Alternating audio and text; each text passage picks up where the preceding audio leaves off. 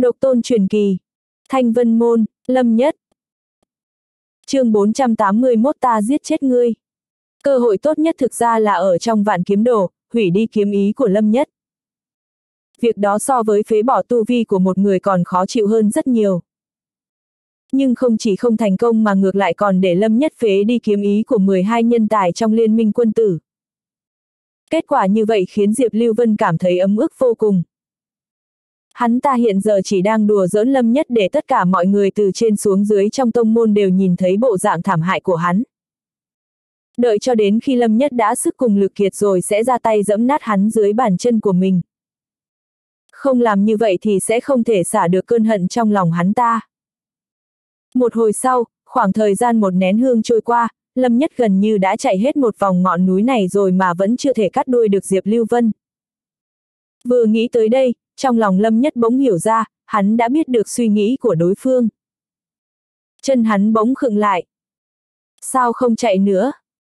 Diệp Lưu Vân từ tốn hạ xuống, giọng nói khẽ mang vẻ châm biếm. Lâm Nhất xoay người, trên gương mặt thanh tú khôi ngô đầy vẻ mệt mỏi, bật cười nói, người cảm thấy đùa như vậy hay lắm à?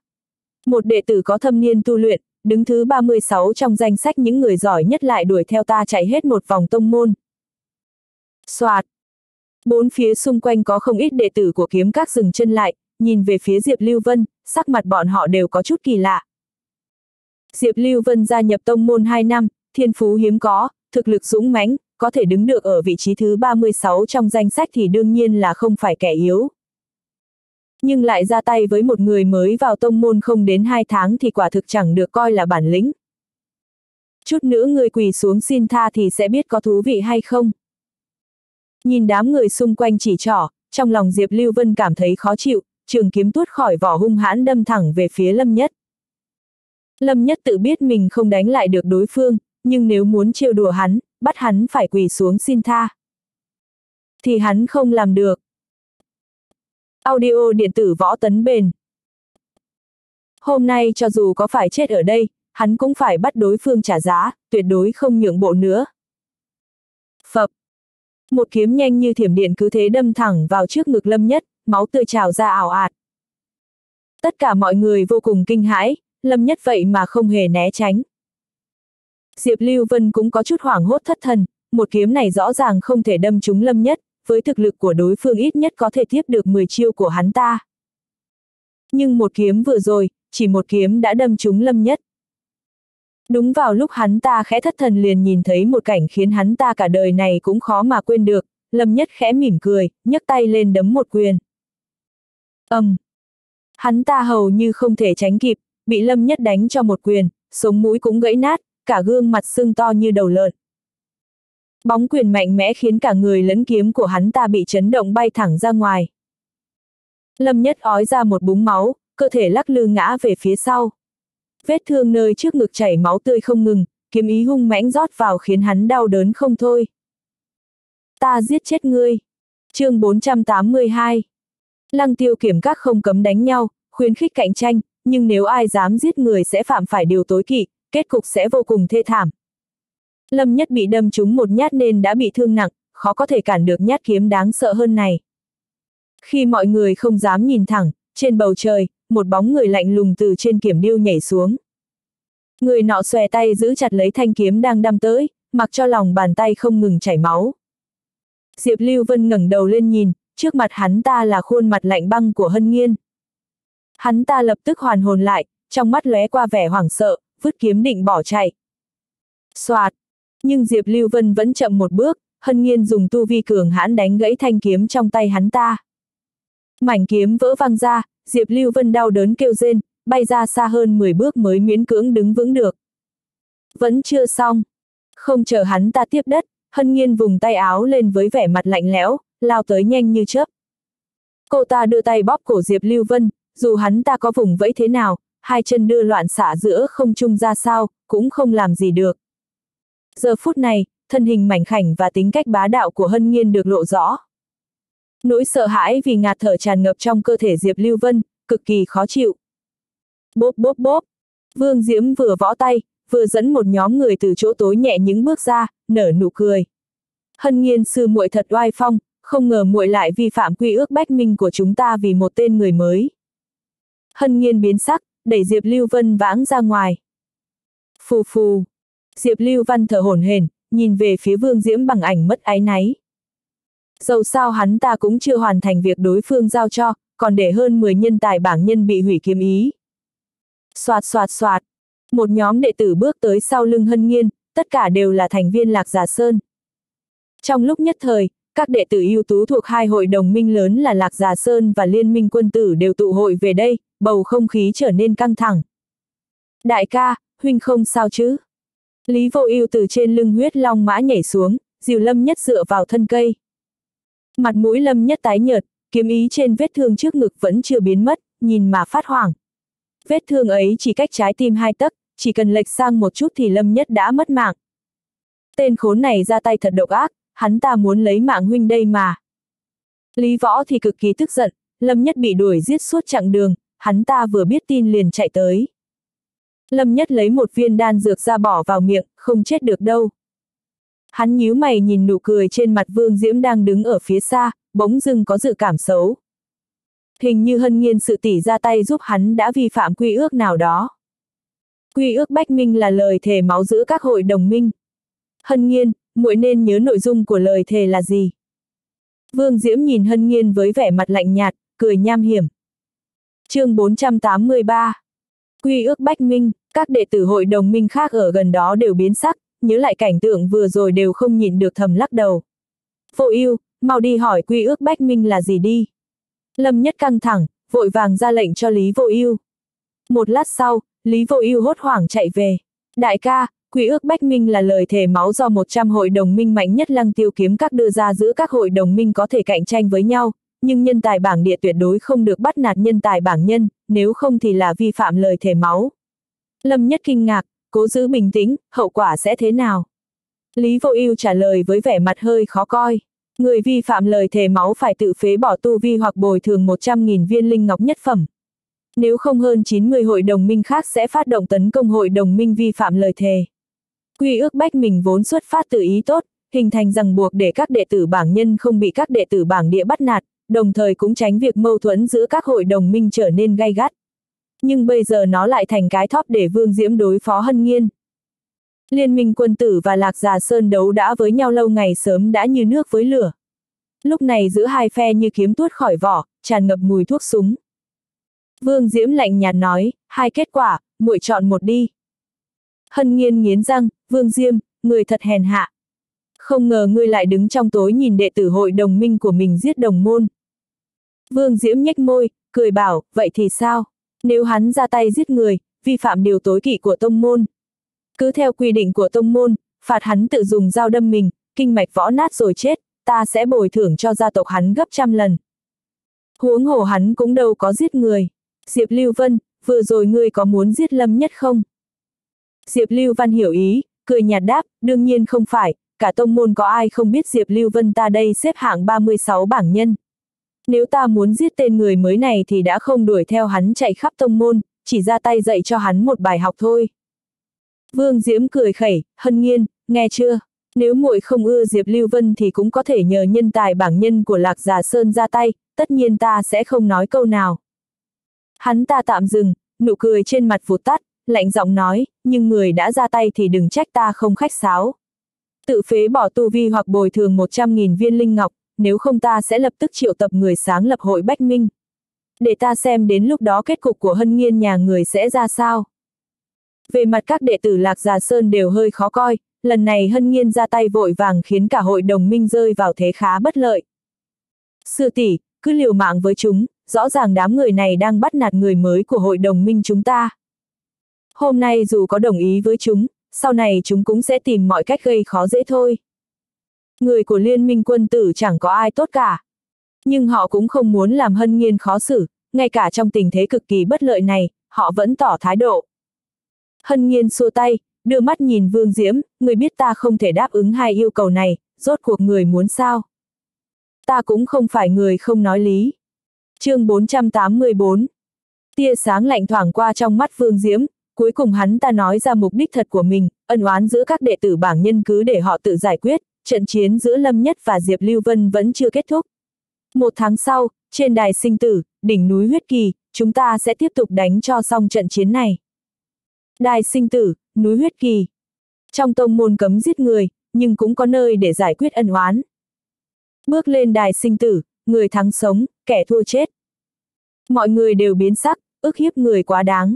Lâm Nhất mới đột phá huyền quan, một người mới sao có thể so sánh với Diệp Lưu Vân có tu vi huyền võ tầng thứ ba, xếp hạng 36 bảng nhân. Lên đài sinh tử chắc chắn sẽ chết. Trong lòng Vương Diễm biết dùng cách bình thường ở lăng tiêu kiếm các thì không thể giết chết Lâm Nhất. Diệp Lưu Vân đã bình tĩnh lại, chắc chắn sẽ không ra tay giết Lâm Nhất thêm lần nữa. Hắn ta không thể đánh mất tính mạng của mình vì giết một người. Nếu hắn ta cố chấp yêu cầu, trong liên minh quân tử sẽ không còn ai theo hắn ta nữa. Lẽ ra lúc ở vạn kiếm đồ, phá hủy kiếm ý của Lâm Nhất rồi từ từ tra tấn là lựa chọn tốt nhất. Đáng tiếc đã thất bại. Cứ tưởng phải chờ cơ hội khác, không ngờ hân nghiên chú động đưa cơ hội này tới cửa. Vậy chỉ thì có thể gặp nhau trên đài sinh tử. Cút! Nào ngờ hân nghiên lại lạnh mặt, mắng thẳng thừng, người đi triệu tập người sáng lập hội Bách Minh đi, để ta xem sẽ có bao nhiêu người ra tay với Lạc Già Sơn vì ta cứu người vi phạm lời thề máu. Không tuân theo quy định. Vương Diễm thầm mắng một tiếng, không ngờ nữ nhân này lại trở mặt với hắn ta vì một tên người mới. Hắn ta lập tức cười dữ tợn, giận dữ tiếp lời, được. Vậy thì không cần phải triệu tập người sáng lập hội Bách Minh nữa. Sau này liên minh quân tử ta cũng có thể không tuân theo quy định, sau này người của Lạc Già Sơn các người ở tông môn nhớ cẩn thận một chút. Vừa dứt lời, mọi người trở nên xôn xao, mặt ai cũng biến sắc. Vương Diễm muốn phát động cuộc chiến liên minh đây mà. Liên minh quân tử và Lạc Gia Sơn đều là những hội đồng minh đứng đầu ở lăng tiêu kiếm các. Nếu họ khai chiến chắc chắn sẽ dấy lên phong ba, trưởng lão chấp kiếm không ra mặt thì không thể dừng lại. Hân nhiên lạnh lùng nói, câu này ta cũng xin trả lại cho người, chúng ta cứ chờ xem. Sư tỷ, ta chấp nhận yêu cầu của hắn. Một thiếu niên sắc mặt tái nhợt, ánh mắt lộ về quật cường. Bình tĩnh che ngực bước ra từ trong đám đông đệ tử lạc giả son. Lâm nhất. Khi hai hội đồng minh lớn sắp trở mặt với nhau, hắn đưa ra một quyết định mà tất cả mọi người không ngờ tới. Lâm nhất vừa nói xong, trong mắt Phương Diễm lóe qua tia sáng lạnh, hắn ta nhanh chóng liếc mắt ra hiệu cho Diệp Lưu Vân. Hắn ta chỉ cần mạng của Lâm nhất, nếu không cần thiết, hắn ta cũng không muốn khai chiến với Lạc Giả Sơn. Nếu Lâm nhất tự tìm đường chết, đương nhiên không còn gì tốt hơn. Hôm nay các đệ tử có mặt ở đây đều có thể làm chứng cho ta. Đệ tử ngoại tông của Lăng Tiêu Kiếm Các, Diệp Lưu Vân kết thủ với Lâm Nhất, xin hạ chiến thư ngay tại đây. Một tháng sau, trên dài sinh tử, núi huyết kỳ, giải quyết ân oán. Diệp Lưu Văn cắn đầu ngón tay, ngay sau đó một tờ chiến thư nhuốm máu phủ lên tiêu vân lệnh của hắn ta, bắn về phía Lâm Nhất. Soạt! chương 485 Hân nhiên bước lên giành lấy tờ chiến thư trước, lạnh lùng bảo, người điên rồi sao? Chê mạng quá dài hay sống không được thoải mái nên muốn đi chết. Lâm Nhất nhìn bàn tay ngọc trắng nõn đang cầm tờ chiến thư của Hân Nghiên, máu trong lòng bàn tay vẫn chưa đông lại. Đó là vết thương do cô ta vội vã cầm kiếm gây ra. Sư tỷ, tỷ không thể chiếu cố ta cả đời. Mối thù do ta tạo ra, ta sẵn sàng tự gánh chịu, tỷ không cần phải khiến tất cả mọi người lạc giả sơn đều bị liên lụy vì ta. Lâm Nhất biết mình giết Phương Ninh, Phương Diễm sẽ không dễ dàng bỏ qua cho hắn. Nỗi nhục hôm nay chỉ mới là khởi đầu thôi. Hơn nữa, có thật là ta của một tháng sau không bằng hắn không? Lòng nhiệt huyết trỗi dậy, Lâm Nhất cười nhẹ, hay sư tỷ cảm thấy ta là một tên vô dụng như hắn đã nói. Nỗi nhục hôm nay, dù Diệp Lưu Vân không hạ chiến thư, hắn cũng nhất định phải trả. Tưởng hắn mặc cho người khác nhào nặn hay sao? Mơ tưởng.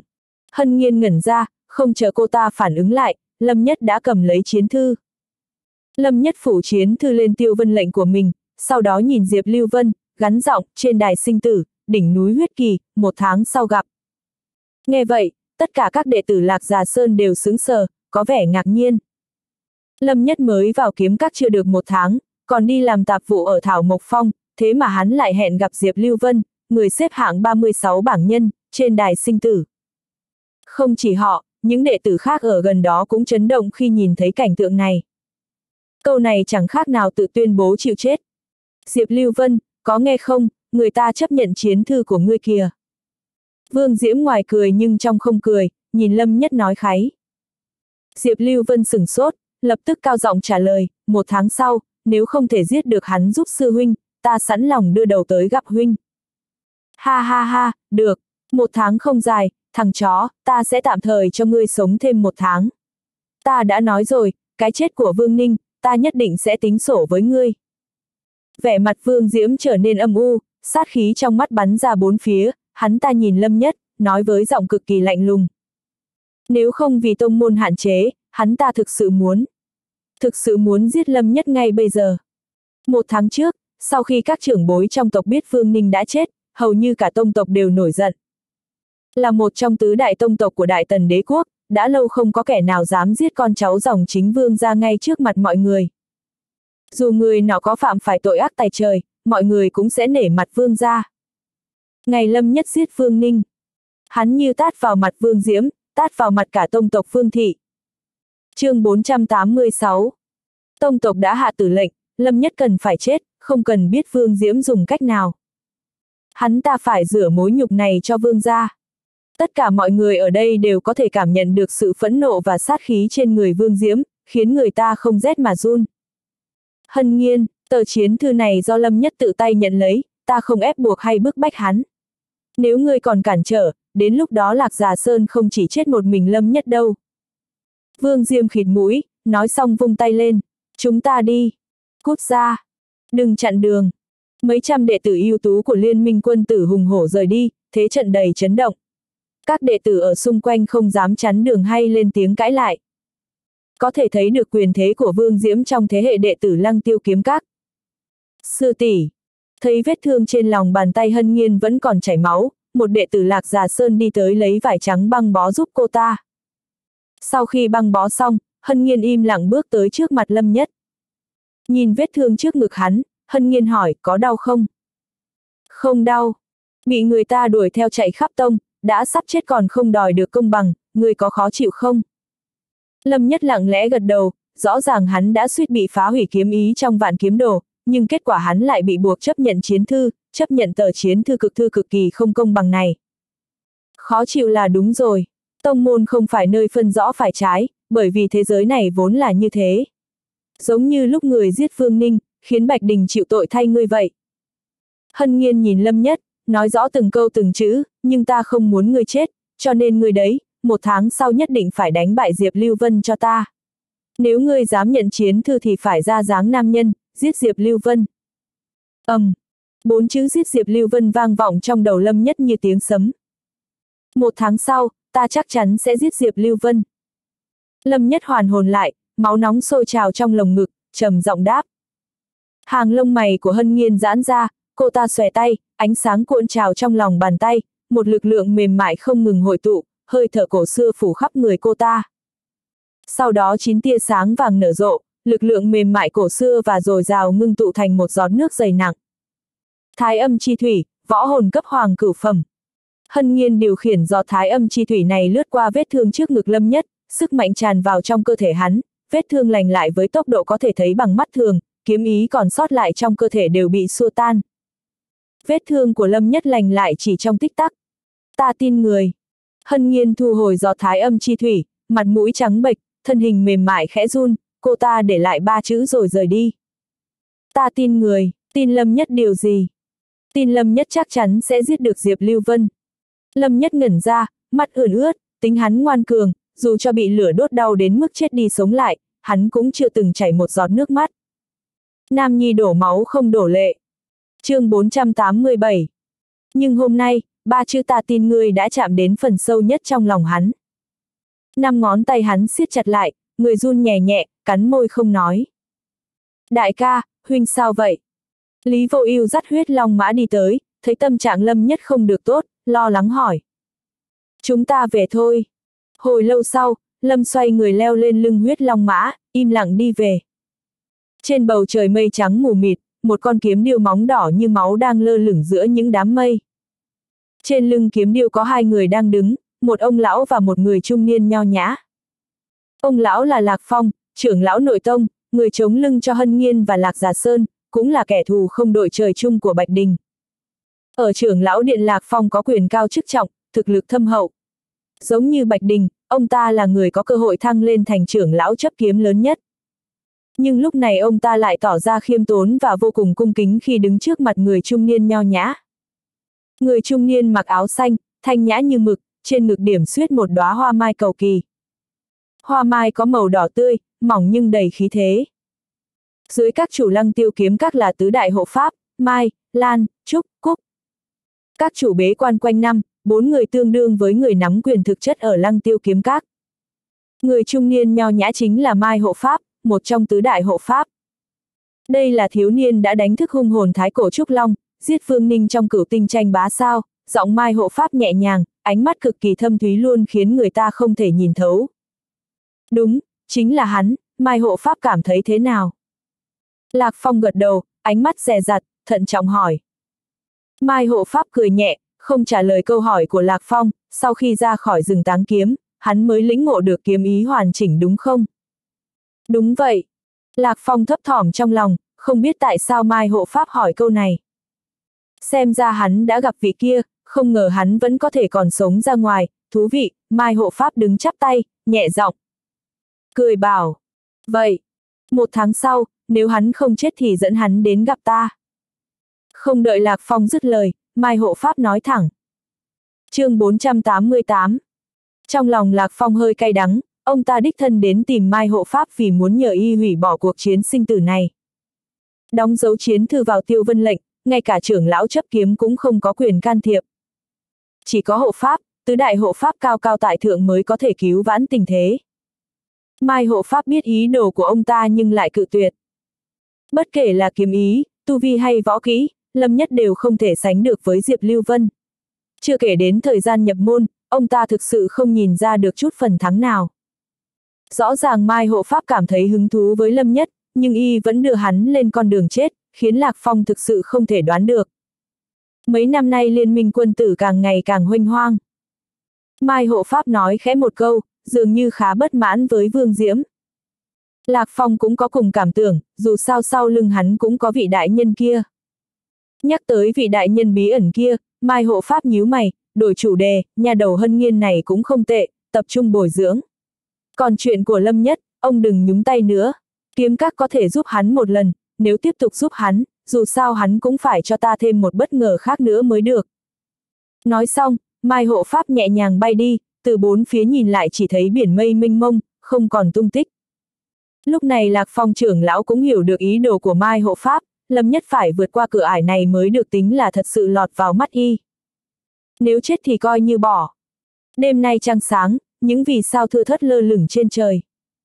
Bầu không khí ở nơi liên minh quân tử đóng quân tràn ngập tiêu điều, nhìn có vẻ lạnh lẽo và thê lương. Hôm nay mưu đồ giết Lâm Nhất trong vạn kiếm đồ đã thất bại, ngược lại còn khiến 12 nhân tài bảng nhân bị hủy kiếm ý. Có thể nói là một tổn thất to lớn, trả giá cao làm Vương Diễm vô cùng đau lòng.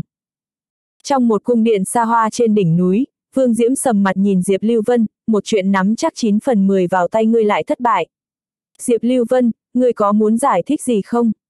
Diệp Lưu Vân trầm giọng đáp, là do ta sơ suất, nhưng ta cam đoan một tháng sau, ta nhất định sẽ đích thân giết hắn.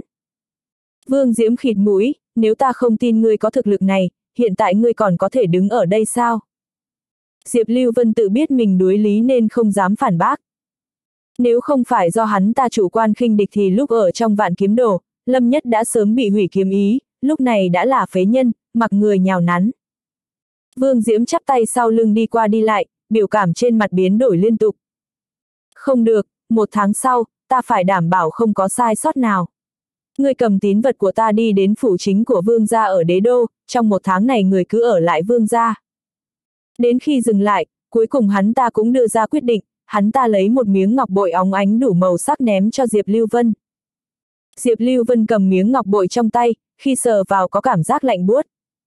Hắn ta biết Vương Diễm muốn sử dụng nguồn tài nguyên khổng lồ của tông tộc Vương Thị để làm cho thực lực của hắn ta tăng lên trong một tháng này. Nhưng điều này khiến Diệp Lưu Vân cảm thấy không vui, hắn ta cao mày, sư huynh không tin vào thực lực của ta sao?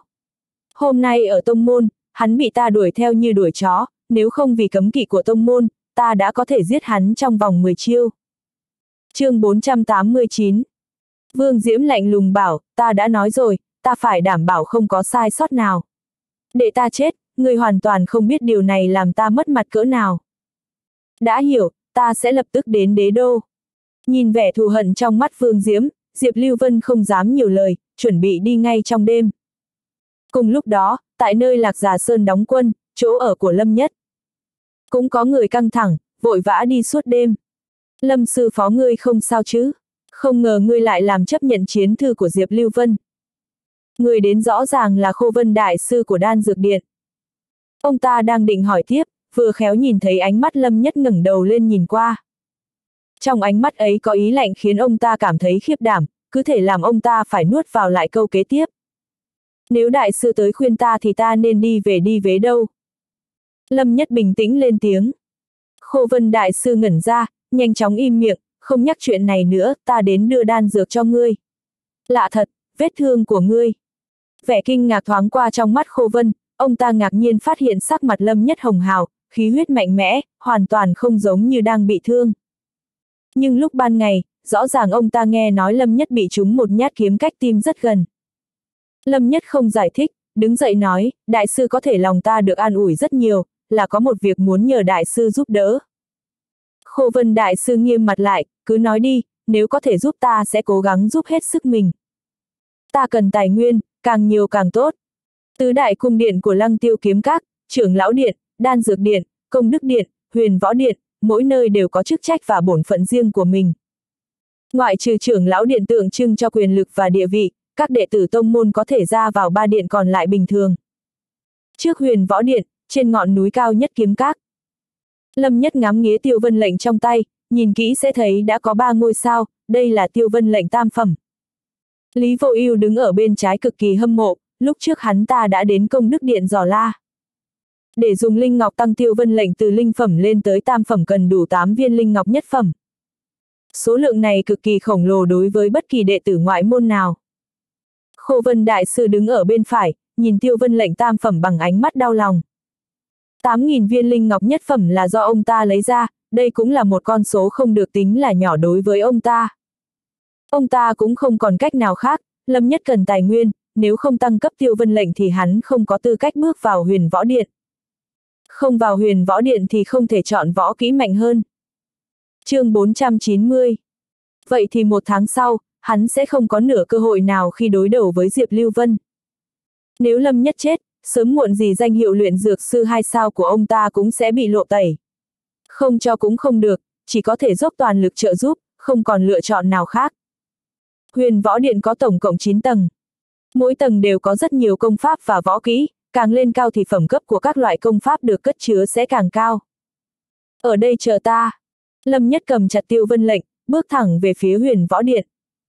Nhìn Lâm Nhất sải bước đi vào, Lý Vô Ưu đảo mắt một vòng, cười bảo, đại sư, ông thấy thiên phú của ta thế nào, cho ta mượn một ít tài nguyên đi, sau này ta trở thành đệ nhất kiếm khách của Đại Tần đế quốc, ta sẽ trả lại cho ông gấp 10 lần. Đệ nhất kiếm khách nước Đại Tần, nói mà không sợ cắn phải lưỡi. Cho ngươi mượn mới là lạ, khô vân đại sư nghiêm mặt, hai tay bắt chéo bỏ vào trong ống tay áo, không nói nữa. Đồ nhỏ mọn. Vào huyền võ điện, Lâm Nhất đi thẳng lên tầng 3.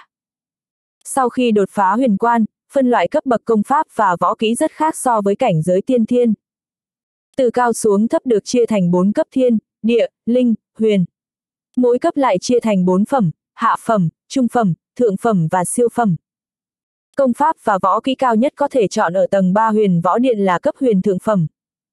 Tầng 4 có thể chọn cấp huyền siêu phẩm, lên tầng 5 càng cao hơn, có thể chọn công pháp và võ kỹ cấp linh. Thiên địa linh huyền từ cấp huyền lên cấp linh cách nhau một cấp, uy lực của công pháp và võ kỹ sẽ có bản chất khác nhau. Nghe nói tầng 9 huyền võ điện thậm chí còn có sự tồn tại của công pháp cấp địa. Nhưng tầng 9 chỉ có đệ tử bảng thiên mới có tư cách lên. Rốt cuộc trong huyền võ điện có công pháp cấp địa hay không, chỉ có đệ tử bảng thiên mới có thể biết. Trước mắt Lâm Nhất không thể nghĩ xa như thế, chỉ có thể ngoan ngoãn ở trên tầng 3. Trên giá sách cổ xưa ở bốn phía được trưng bày rất nhiều ngọc bài công pháp tỏa ánh sáng nhàn nhạt trong không gian tối tăm. Ánh sáng lập lòe đầy sức quyến rũ khó cưỡng. Trong lòng Lâm Nhất hơi chấn động, tất cả chúng đều là công pháp và võ kỹ cấp huyền. Ở quận Thanh Dương, người ta đã liều mạng tranh giành công pháp và võ kỹ tiên thiên. Nhưng trong tầng 1 của huyền võ điện trưng bày vô số công pháp tiên thiên, thế mà không ai để ý tới. Người ta nói tứ đại tông môn là tông môn tách biệt với đại tần đế quốc, sức mạnh ở đâu, nội tình ở đâu. Đây chính là nội tình, đây chính là sức mạnh. Lâm Nhất không chọn công pháp, hắn tu luyện tử diên kiếm quyết, đã đến lúc hắn cần tu luyện lên cảnh giới tử phủ. Quy vân trưởng, khai sơn kiếm, lạc anh thân pháp, bách bộ quyết, thất huyền kiếm pháp, lưu quang kiếm pháp. Nhiều loại võ kỹ làm hắn nhìn muốn hoa cả mắt, mỗi bộ đều có sức cám dỗ cực kỳ lớn. Thảo nào nhiều người liều sống liều chết để vào được tử đại tông môn, chỉ công pháp và võ kỹ thôi cũng đủ để chứng minh tất cả.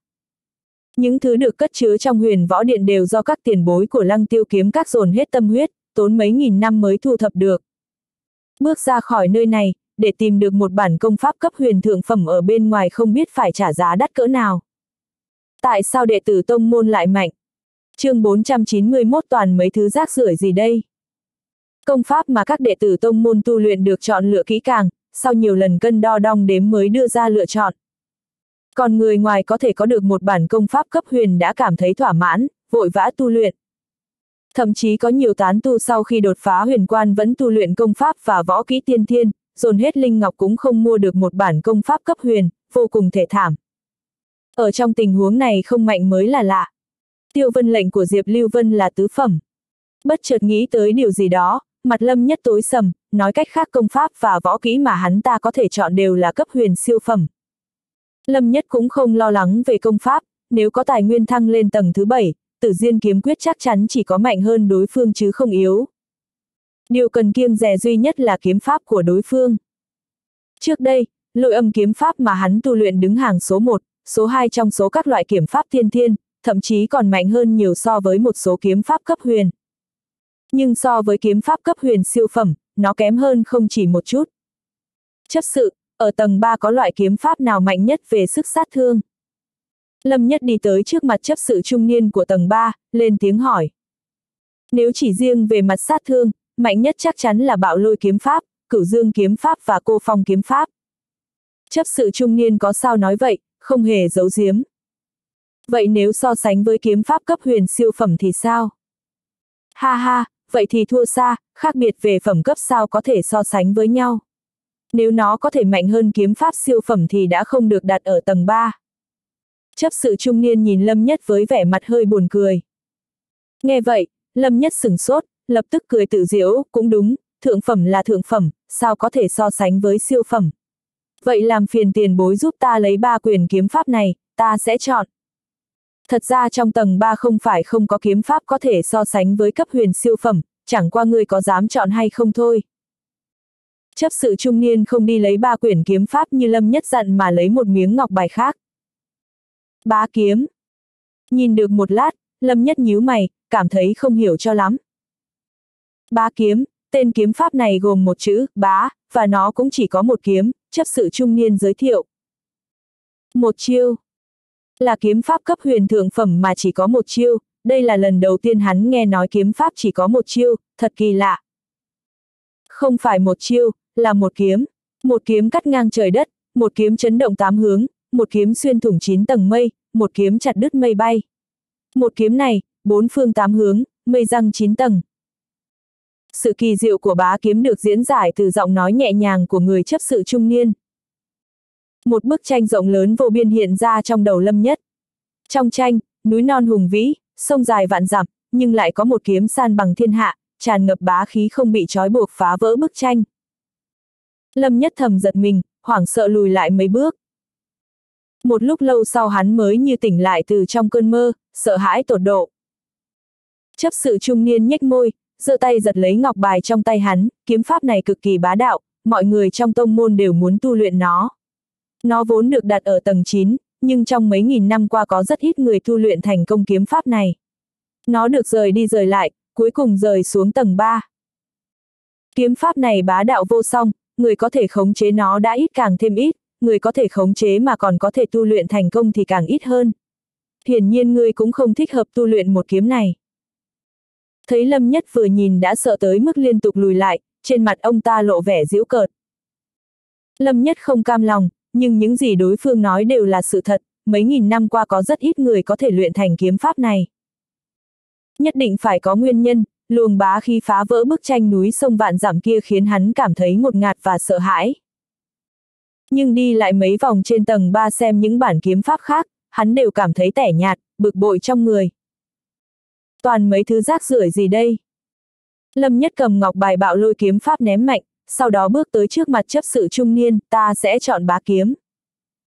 Vì tu luyện kiếm pháp này mà đã có mấy trăm người chết, người chọn loại kiếm pháp khác đi. Người trung niên khuyên nhủ. Không, ta sẽ lấy nó. Cuối cùng chấp sự trung niên không khuyên được Lâm Nhất, đành phải đưa bá kiếm cho hắn. Xoạt xoạt xoạt chương 492 rốt cuộc ngươi có đi hay không? Hắn nhanh chóng đi xuống đại sảnh huyền võ điện tìm trưởng lão thủ các. Trưởng lão thủ các canh giữ huyền võ điện. Khẩu quyết công pháp trong ngọc bài đều là bản thiếu, trộm ra ngoài cũng vô dụng. Để lấy cả bộ, chỉ có thể cầm tiêu vân lệnh đến gặp trưởng lão thủ các để giải trừ cấm chế trong ngọc bài. Bá kiếm. Trưởng lão thủ các nhận lấy ngọc bài công pháp, vừa định giải trừ cấm chế thì thản nhiên đặt nó xuống.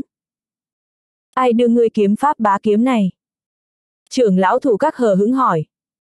Ta tự tìm, sao vậy, không thể chọn à?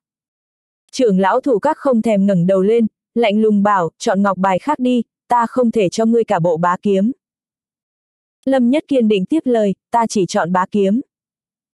Trưởng lão thủ các ngẩng đầu lên nhìn Lâm Nhất, vậy ngươi lấy nó ở đâu thì trả về chỗ cũ đi. Thấy Lâm Nhất chưa đi, trưởng lão thủ các khịt mũi, nghe không hiểu sao. Nói đơn giản hơn là bảo ngươi cút đi. Ta không đi, nếu ông không cho ta cả bộ, ta sẽ không đi. Lâm Nhất nhìn trưởng lão thủ các chằm chằm, không nói lời nào, cố chấp không chịu đi. Vậy ngươi cứ đứng đó đi. Trưởng lão thủ các cười khẩy, không để ý tới Lâm Nhất. Trong huyền võ điện, mọi người qua lại nhìn thấy cảnh này đều không ngạc nhiên. Đây không phải Lâm Nhất sao? Cái tên này, có chuyện gì mà đứng ngây ra trước mặt trưởng lão thủ các vậy? Không phải đứng ngây người mà là bị mắng. Vừa rồi chính tai ta nghe thấy trưởng lão thủ các bảo hắn cút. Trưởng lão thủ các nổi tiếng là tốt tính thế mà lại mắng người, đừng nói tên này muốn được lên tầng cao hơn đấy. Có thể lắm, Diệp Lưu Vân được chọn kiếm pháp siêu phẩm, hắn không lên được tầng 4, một tháng sau chắc chắn chỉ có một chữ chết. Dù có lên được thì sao? Trong vòng một tháng có thể tu luyện công pháp siêu phẩm được thành tựu gì chứ, lên hay không lên cũng chỉ có chết thôi. Mọi người bàn tán xôn xao, nhìn Lâm Nhất với vẻ mặt đồng tình. Trong vòng một đêm, chiến thư của hắn và Diệp Lưu Vân đã truyền ra khắp ngoại môn. Nguyên nhân trong chuyện này cũng đã bị người khác tìm hiểu ngọn nguồn. Lâm Nhất là một kẻ tàn nhẫn, phế bỏ kiếm ý của hơn 10 người liên minh quân tử trong vạn kiếm đồ, Lạc Già Sơn còn không ngại trở mặt với liên minh quân tử để bảo vệ hắn. chương 493 Lão Phu cần ngươi dậy à? Một uy áp lạnh lẽo bao trùm lấy Lâm Nhất, đây là tu vi cảnh giới tử phủ. Xoạt xoạt xoạt xoạt. Uy áp mạnh mẽ giáng xuống, ngay cả Lâm Nhất đã luyện thành lôi viêm chiến thể cũng không chịu nổi. Áp lực này khiến xương cốt Lâm Nhất liên tục phát ra âm thanh giòn giã, hắn cố gắng chịu đựng, mặt mày đỏ bừng. Tranh lệch lớn về tu vi tựa như con hào rộng, khó có thể vượt qua. Chỉ trong tích tắc, một vệt máu tràn ra từ khóe miệng, hắn quỳ một chân xuống, thất khiếu gồm miệng, tai, mắt và mũi chảy máu. Bộ dạng đó vô cùng thê thảm, khiến người ta phải tặc lưỡi hít hà. Nhưng Lâm Nhất cắn răng, không nói lời nào, hôm nay dù có quỷ chết ở đây hắn cũng không đi. Hắn đã hứa với hân nghiên sư tỷ rằng nhất định phải giết Diệp Lưu Vân, bá kiếm chính là hy vọng để hắn giết đối phương. Lời hứa của Nam Nhi Một lời hứa, nghìn vàng khó mua. Một lời hứa, chết vạn lần cũng không chối từ. Một lời hứa, núi đao biển lửa. Một lời hứa, núi sông không rời. Bùm! Lâm Nhất đang quỳ một gối trước mặt ông lão đột nhiên phát ra tiếng động lớn, đó là tiếng nứt xương. Là âm thanh xương nứt ra khi chịu một áp lực cực lớn. Cảnh tượng này khiến người ta nhìn mà thấy đau lòng. Có người không đành lòng lên tiếng, trưởng lão, ngài đồng ý phá lệ cho hắn một lần đi. Một tháng sau hắn phải lên đài sinh tử, không lên được tầng 4 là không có cơ hội sống đâu. Trưởng lão, nếu ngài không dừng tay, hắn thực sự sẽ chết trước mặt ngài. Đủ mọi lời thuyết phục vang lên, nhưng sắc mặt trưởng lão vẫn không biến đổi, không hề có dấu hiệu nhượng bộ. Nhưng nhìn thấy vẻ cố chấp và kiên trì trong đôi mắt trên khuôn mặt máu me của Lâm Nhất, cuối cùng ông ta không tạo áp lực nữa. Người tên là gì? Trưởng lão thủ các trầm giọng hỏi với vẻ mặt không cảm xúc. Trưởng lão, hắn tên là Lâm Nhất. Trước đây hắn là kiếm nô, một người đến từ quận nhỏ, hoàn toàn không biết phép tắc là gì, ngài không thể phá lệ cho hắn lên tầng 4. Lâm Nhất còn chưa lên tiếng đã có một người từ trong đại điện bước tới, nhìn thấy hắn bị uy áp làm cho phải quỳ một chân xuống đất, hắn ta cười khẩy. Lãnh mạch. Vừa nghe thấy giọng nói này, Lâm Nhất lập tức biết người đó là ai.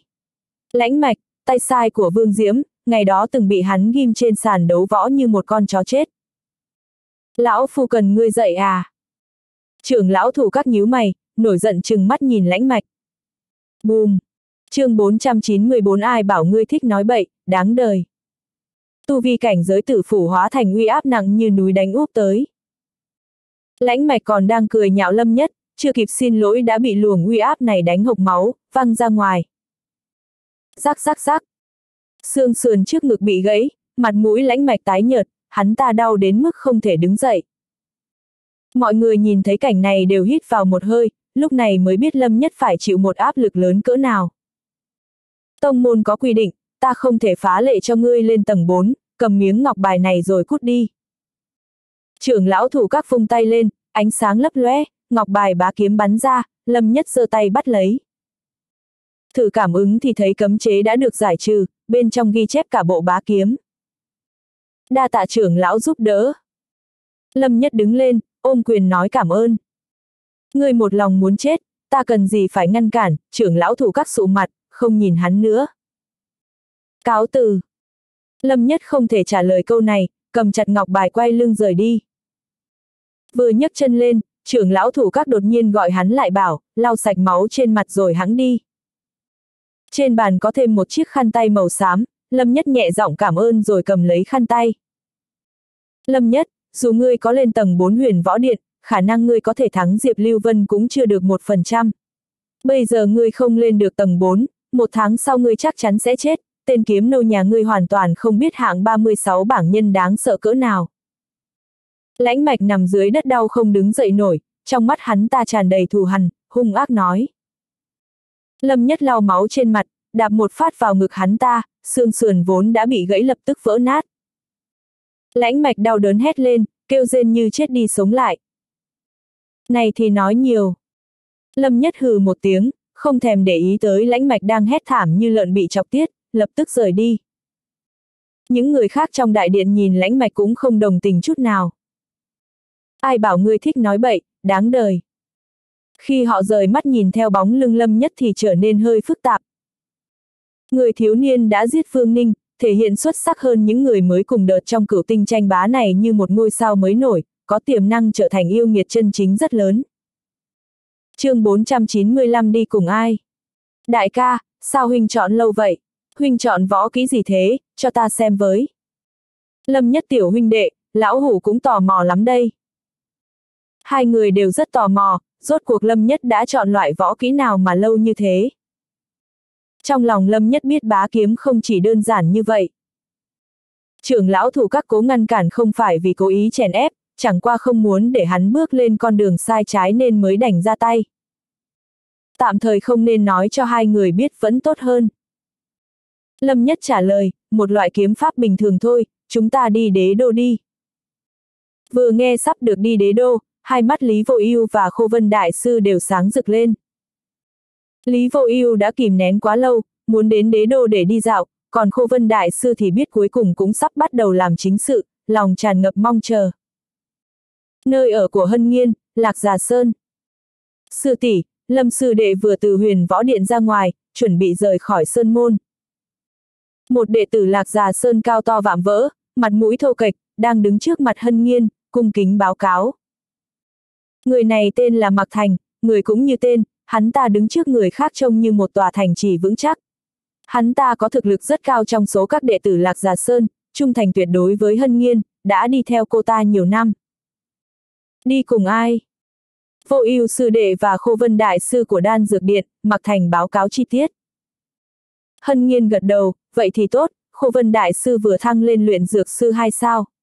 Có ông ta đi cùng, dù có ra khỏi sơn môn cũng không ai dám động vào lâm sư đệ. Cùng lúc đó, ở nơi liên minh quân tử đóng quân, Vương Diễm cũng biết được tin lâm nhất rời tông. Vẻ vui mừng thoáng qua trong mắt hắn ta, nhưng khi nghe nói lâm nhất đi cùng khô vân đại sư, trông hắn ta có vẻ thất vọng. Đan dược điện có địa vị đặc biệt ở lăng tiêu kiếm các, nó tách biệt và độc lập, ngay cả hắn ta cũng không thể trêu vào. Nhưng khi nghe lãnh mạch kể lại tình hình mà hắn ta chứng kiến ở huyền võ điện, Vương Diễm cười nham hiểm, tiểu kiếm nô này đúng là mơ mộng hão huyền, không ngờ hắn còn đòi lên tầng 4. Hiện tại biết quỳ gối cầu xin người khác thì đã muộn rồi. Bây giờ chỉ mới là bắt đầu thôi, một ngày nào đó ta sẽ khiến người quỳ gối trước mặt ta như một con chó. Trong thành đế đô, nhóm lâm nhất gồm ba người cưỡi ngựa lên đường trong đêm. Thời gian quý báu nên họ không dám lãng phí, khi đến nơi ai cũng kiệt sức, ngựa hết hơi, cần phải nghỉ. Trong bóng đêm, gió lạnh rít gào, tuyết bay dập trời. Trận tuyết này lớn thật, quá lạnh, muốn tắm nước nóng quá đi. Lý vô ưu run cầm cập, so với trận tuyết mịn một tháng trước, trận tuyết tối nay lớn hơn nhiều. chương 496 hai chữ lâm lang có nghĩa là rực rỡ muôn màu. Khô Vân Đại Sư cười bảo, không gấp, ta là trưởng lão khách khanh ở Lâm Lang Các, giờ đã thăng lên thành luyện dược sư hai sao, đãi ngộ sẽ cao hơn. Đến lúc đó ngươi có yêu cầu gì thì cứ nói, Lâm Lang Các đều có thể đáp ứng ngươi. Lâm Lang Các, một trong số các thương hội lớn nhất nội thành đế đô, hai chữ Lâm Lang có nghĩa là rực rỡ muôn màu. Đan dược luôn là mặt hàng quan trọng nhất trong bất kỳ cửa hàng nào.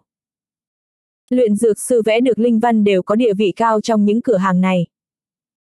Đan dược điện ở kiếm các cũng không cấm luyện dược sư của mình qua lại với những thương hội này.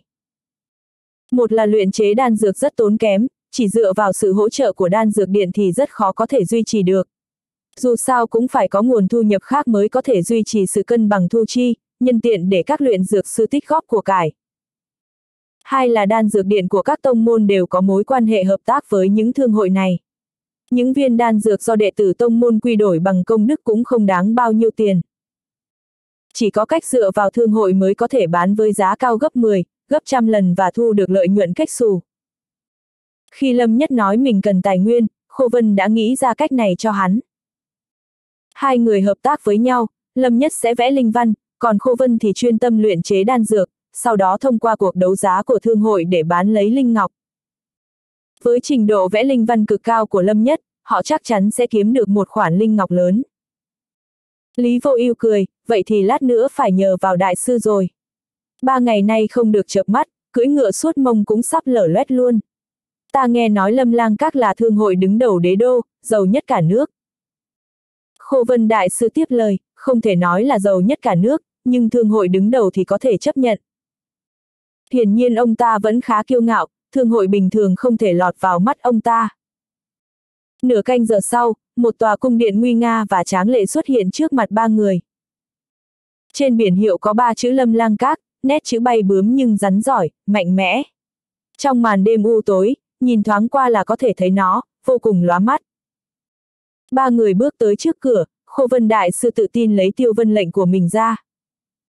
Gọi đường chủ mạc của các ngươi ra đây, bảo là có bạn cũ đến.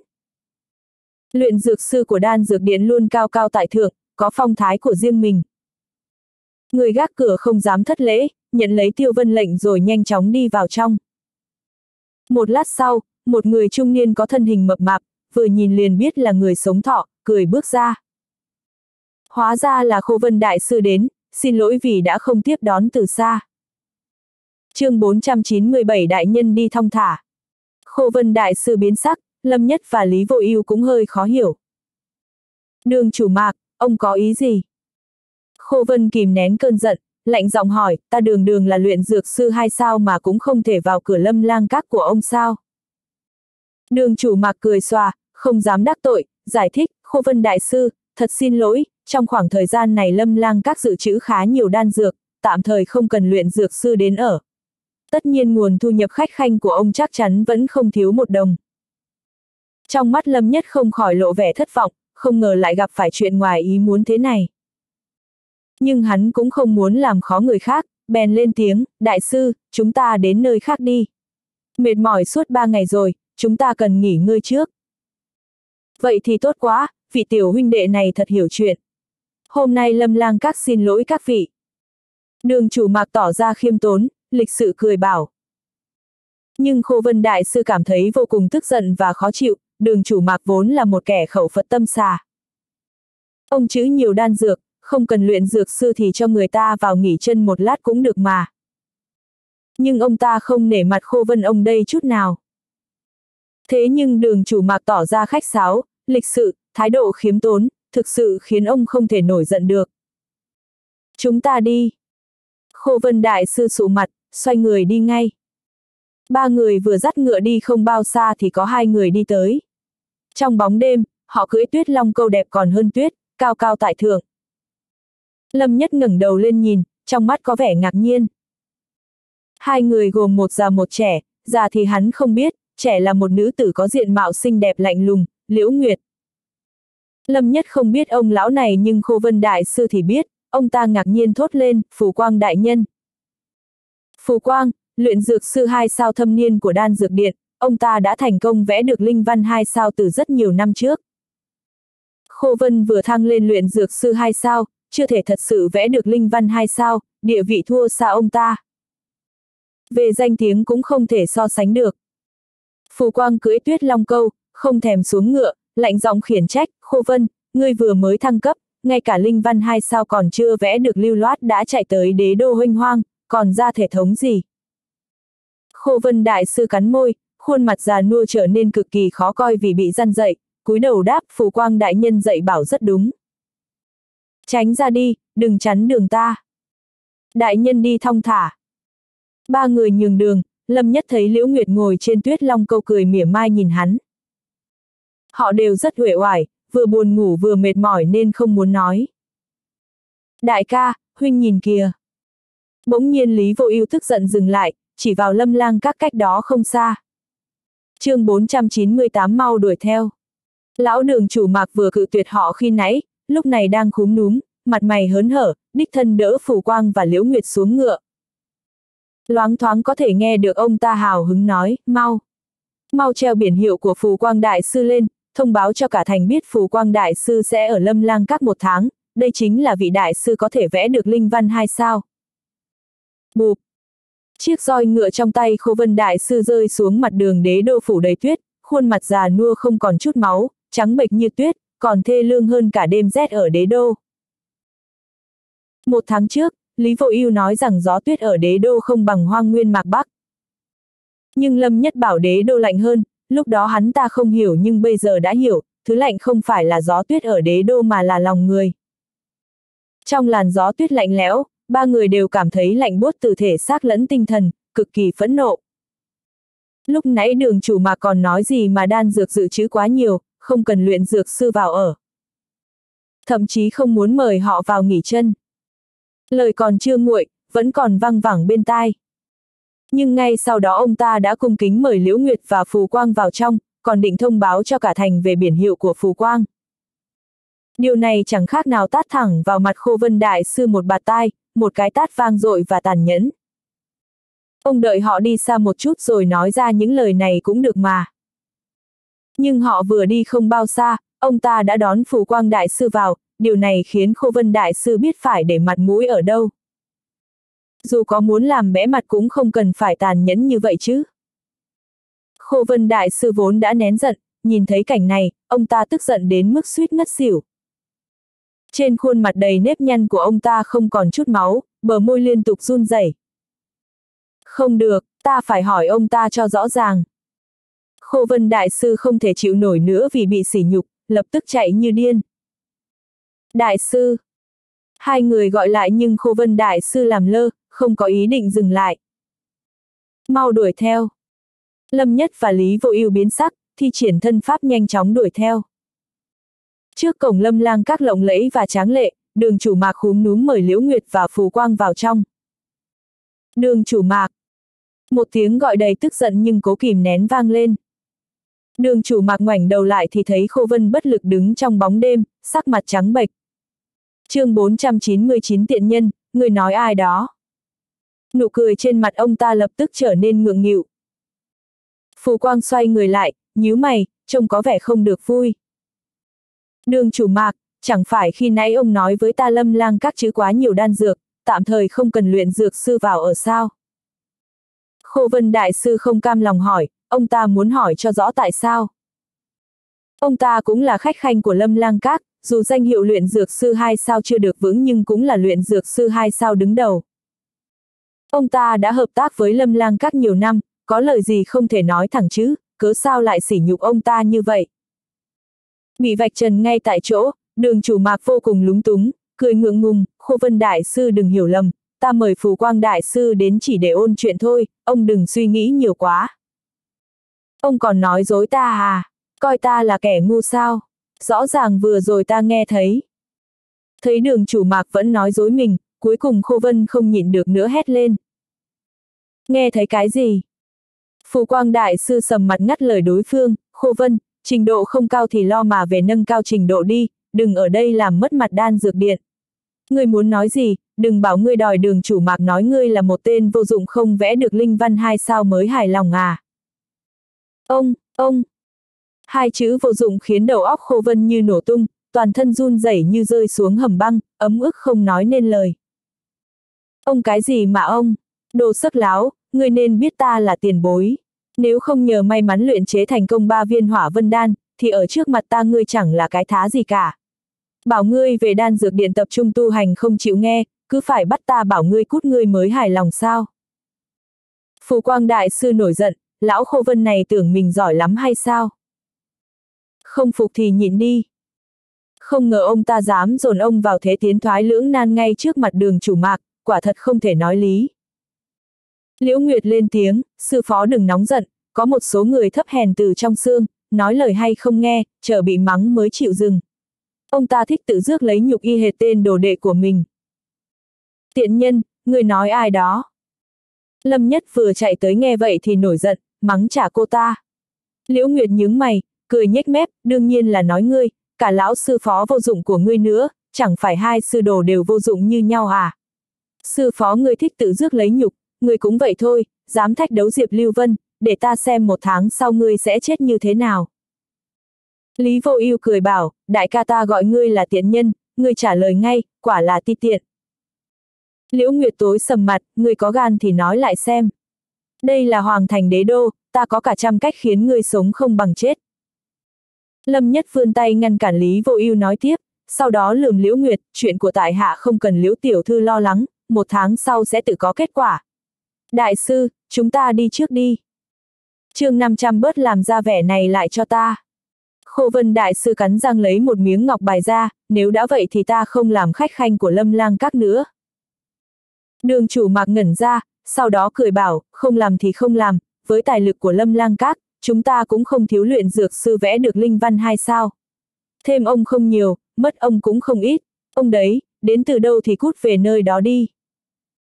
Nói xong, ông ta lạnh mặt, không chút khách sáo giật lại ngọc bài khách khanh trong tay đối phương. Ông ta xoay người lại cười bảo, Phú Quang Đại Sư, Liễu Nguyệt Tiểu Thư, chúng ta không chấp nhặt với những kẻ vô dụng, mời vào trong. Phù Quang và Liễu Nguyệt kiêu ngạo bước vào lâm lang các, không thèm đếm xỉa tới khô vân. Cút, đừng đứng trước cửa lâm lang các làm trì trệ công việc buôn bán của chúng ta. Hai tên hộ vệ trước cửa bước tới, tỏ ra hung dữ đuổi người. Chó cậy gần nhà, gà cậy gần chuồng. Lý vô ưu lạnh mặt, mắng không chút khách sáo. Muốn chết đúng không? Hai tên hộ vệ huyền võ tầng thứ sáu ngoắc tay, một đám hộ vệ lâm lang các nhanh chóng chạy tới từ chỗ tối. Lâm nhất nhíu mày nhìn hai người họ, lạnh lùng hỏi, thú vị, ỉ có lâm lang các chống lưng nên dám ra tay với đệ tử lăng tiêu kiếm các à. Tên hộ vệ biến sắc, trong mắt thoáng qua vẻ kiêng rè, dù sao cũng là lăng tiêu kiếm các tiếng tăm lẫy lừng. Nói cho cùng lâm lang các cũng chỉ là một thương hội, không thể so sánh với tứ đại tông môn ở đại tần đế quốc. Lăng tiêu kiếm các thị oai phong lắm, nhưng đừng làm trễ nải việc buôn bán của chúng ta, đừng đứng đây cản trở lâm lang các chúng ta nữa. Giọng điệu hai tên hộ vệ trở nên khách sáo hơn, không dám nói năng lỗ mãng. Cái nơi chết tiệt này, dù chỉ đứng một giây ta cũng không thèm, ai lạ đâu. Lý Vô Ưu thực sự không ưa bộ dạng chân chó của hai tên hộ vệ, lập tức quay lưng rời đi. Lâm Nhất kéo Khô Vân Đại Sư đi theo sau. Trên đường đi cực kỳ im lặng, khô vân đại sư ủ rũ, đờ đẫn như cái xác không hồn. Chuyện tối nay là một cú sốc quá lớn đối với ông ta.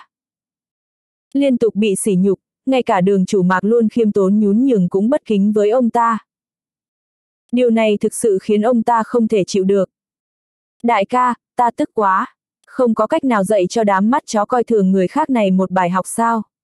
À tiện nhân kia làm ta cảm thấy khó chịu quá đi. Lý vô ưu đột nhiên dừng bước, tức giận mắng. Lâm nhất nhẹ giọng đáp, đương nhiên là có cách, nhưng với bộ dạng này của Khô Vân Đại Sư, dù ta có hàng nghìn mưu kế cũng chẳng ăn thua gì. Khô Vân Đại Sư tự diễu, ta chỉ là một tên vô dụng, đâu có quan trọng như vậy. Cũng đúng, vậy sao ông không đi chết đi, Lâm Nhất cười lạnh lùng, mỉa mai ông ta. Khô Vân Đại Sư nghe vậy thì sững sờ, không ngờ Lâm Nhất lại nói vậy với ông ta, giận dữ đáp, ngay cả ngươi cũng khinh thường ta, vậy ta đi là được. Bớt làm ra vẻ này lại cho ta. Vẻ tức giận lóe qua trong mắt Lâm Nhất, hắn lạnh mặt, có chút ấm ức còn không chịu được, nếu ông khó chịu thì đi chết luôn cho rồi. Di nguyện của phụ thân ông bảo ông làm một kẻ vô dụng à. Lúc trước ở đan dược điện, dũng khí mắng ta là đồ chó đi đâu hết rồi. Khô vân đại sư bị mắng đến mức mặt mày đỏ bừng, nhưng không nghĩ ra lời nào để cãi lại. chương 501 Khô Vân lắc đầu tỏ ý không đúng. Lý vô ưu thở dài, đại sư, ông đừng cãi nữa. So với lâm nhất đại ca, chút ấm ức của ông chẳng là gì đâu. Lúc trước ở rừng rậm u ám, ông hoàn toàn không biết hai chúng ta đã khó khăn cỡ nào, nhưng huynh ấy vẫn cắn răng đi ra ngoài để giết thằng chó vương ninh đó. Nghe vậy, khô vân đại sư ngây người, một lát sau mới lên tiếng, người thật sự có cách đối phó phù quang à. Ông ta là luyện dược sư hai sao thâm niên, có tiếng tăm hiển hách ở đan dược điện, thậm chí còn rất nổi tiếng ở đế đô. Lâm Nhất bình tĩnh trả lời, ta có cách, tất nhiên sẽ không lừa ông. Ông ngẩng đầu lên nhìn xem đây là đâu. Khô Vân Đại Sư ngẩng đầu lên, nghẹn ngào đáp vạn bảo các. Trên con phố sầm uất nhất, Lâm Lang Các và Vạn Bảo Các, nơi đầu đường nơi cuối phố, thoạt nhìn đã thấy không được hòa hợp. Khô Vân Đại Sư nghĩ tới điều gì đó, kinh ngạc thốt lên, đừng nói là người bảo ta đi làm khách khanh của Vạn Bảo Các đấy. Đây là đối thủ không đội trời chung với Lâm Lang Các. Sao nào, ông thật sự cho rằng mình là kẻ vô dụng. Một người luyện dược sư một sao hàng thật giá thật như ông chủ động tới đây làm khách khanh, người ta sẽ đuổi ông đi à? Lâm Nhất nói rồi đi thẳng về phía cửa vạn bảo các. Hắn nhìn người gác cửa, sư tôn ta, khô vân, luyện dược sư của lăng tiêu kiếm các, muốn đến quý các xin chức vị khách khanh. Khô vân đại sư, hình như chưa nghe nói bao giờ.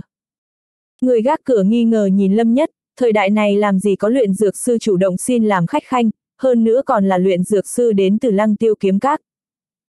Chưa nghe nói cũng không sao, nhưng chắc hẳn đã thấy tiêu vân lệnh rồi nhỉ. Lâm Nhất cười nhẹ, quay đầu lại nhìn. Khô Vân bất chấp đi tới đưa Tiêu Vân lệnh cho đối phương. Tiêu Vân lệnh do đan dược điện rèn đúc không thể giả được và cũng không ai dám làm giả. Lăng tiêu kiếm các tiếng tăm lừng lẫy, người gác cửa vẫn phải chút năng lực phân biệt này, hắn ta cười bảo, thì ra thật sự là Khô Vân Đại Sư, mời vào trong, mời vào trong. Như Lâm Nhất đã đoán, Khô Vân chủ động đi xin chức vị khách khan vô cùng thuận lợi. Trong phòng luyện đan của Vạn Bảo Các, sau khi vị đường chủ phụ trách tiếp khách rời đi. Khô Vân hơi mờ mịt hỏi, Lâm Nhất, rốt cuộc kế hoạch của ngươi là gì? Đại sư, ông nói xem lượng lớn đan dược mà Lâm Lang các dự trữ sẽ là loại đan dược gì, Lâm Nhất không trả lời mà hỏi ngược lại. Khô Vân suy nghĩ rồi đáp, vấn đề này ta vẫn có thể đoán được, đan dược có thể dự trữ chất đống sẽ không phải đan dược quý hiếm như hỏa vân đan, khi nào cần đột phá bình cảnh công pháp mới dùng tới. Vậy chắc chắn bọn họ sẽ dự trữ loại cần sử dụng mỗi ngày, ngày nào cũng phải dùng mới có thể bán được số lượng lớn. Là loại đan dược gì, Lý Vô Ưu chưa dùng đan dược bao giờ nên thắc mắc hỏi. Khô Vân Đại Sư giải thích, cảnh giới tiên thiên là tiên thiên đan, cảnh giới huyền võ đương nhiên là đại huyền đan. Với địa vị của Lâm Lang Các, nếu chữ hàng chắc chắn sẽ chữ đại huyền đan, vì vậy loại đan dược mà đường chủ mạc nói nhất định là đại huyền đan. Lâm Nhất gật đầu, ông đoán xem họ dự trữ bao nhiêu. Khô Vân Đại Sư không trả lời, giơ một ngón tay lên. Một nghìn viên, Lý Vô Ưu nhanh chóng đáp. Khô Vân lắc đầu tỏ ý không đúng. Lý Vô Ưu mỉm cười, tự tin nói tiếp, vậy thì là 10.000 viên. Sai, là 100.000 viên. Quận Tần Thiên, đế đô của nước Đại Tần, là nơi tập trung các nhân tài kiệt xuất ưu tú của Đại Tần đế quốc. Với quy mô của Lâm Lang Các, nếu muốn chữ hàng thì ít nhất phải từ 100.000 viên. chương 502 Lời nói đầy ngang ngược của Lâm Nhất khiến Lý Vô Ưu và Khô Vân Đại Sư đều giật mình. Ca, huynh nói làm thế nào, nghe theo huynh cả. Lý Vô Ưu nhiệt huyết sôi trào, hắn hận ngay lúc này không thể cho Liễu Nguyệt và Phù Quang phải khuất phục. Nhưng rất hiển nhiên, điều này không thực tế. Lâm Nhất vỗ vai Lý Vô Ưu cười nói, người phụ trách hỗ trợ là được, trận chiến này vẫn cần phải nhờ đến Khô Vân Đại Sư. Lý Vô Ưu chẳng chút để tâm, nhìn về phía Khô Vân cười nói, Đại Sư, có công việc gì nặng nhọc bẩn thỉu thì ông cứ việc sai bảo, tiểu đệ chỉ cần gọi là sẽ có mặt. Vẻ mặt Khô Vân Đại Sư có chút ngượng ngùng, vội vàng nói không dám không dám. Lâm Nhất rút ra một viên đại huyền đan, Đại Sư, đây là một viên đại huyền đan do ông luyện chế, nếu ta nhớ không nhầm thì mới chỉ in lên một số linh văn cơ bản. Khô Vân Đại Sư gật gật đầu, đại huyền đan này của ta chỉ có thể gọi là trung phẩm, chỉ có khoảng 5 phần dược tính. Cái gì là 5 phần dược tính, Lý Vô Ưu khó hiểu hỏi. Lâm Nhất giải thích, đan dược trong quá trình luyện chế, bất luận là người có tay nghề vững đến đâu thì cũng khó tránh làm mất đi dược tính. Thông thường mà nói, một viên đan dược được luyện chế xong sẽ mất đi khoảng 7 phần dược tính, phải dựa vào phương pháp in dấu linh văn lên thì mới giảm bớt được phần dược tính bị mất.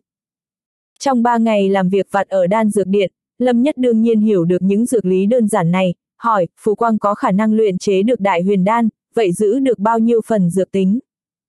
7 phần.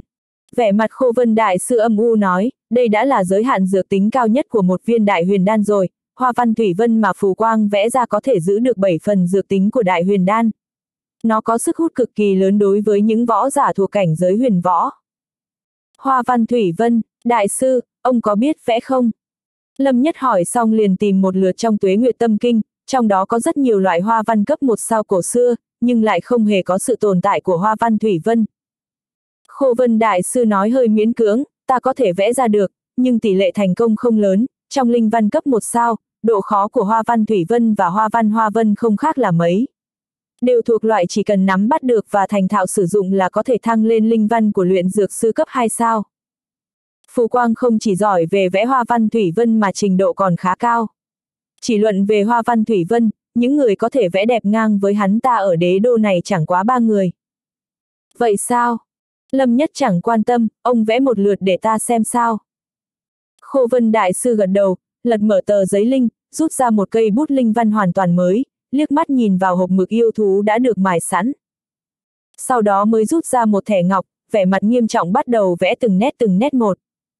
Không bao lâu sau, mồ hôi lấm tấm dịn ra trên trán, sắc mặt dần trở nên căng thẳng.